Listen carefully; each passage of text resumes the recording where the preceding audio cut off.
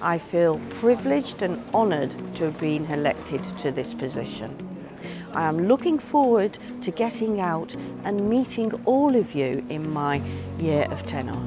We're a new council and there's many wards and I've set myself a personal target to get out there, to meet you all, to talk with you, to hear what you have to say.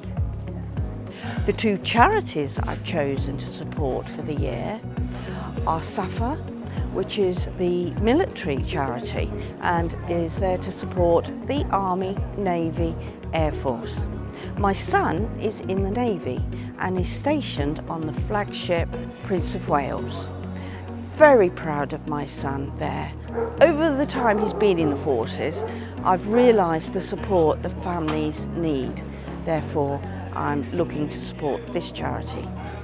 The other charity I've chosen is Stop Hate. It's a new charity to Northamptonshire and it's there to help you if you're feeling vulnerable, if you've been involved in an incident and you don't feel comfortable calling the police. Call Stop Hate. They'll advise you. They'll talk you through the options you have. They'll try and reassure you.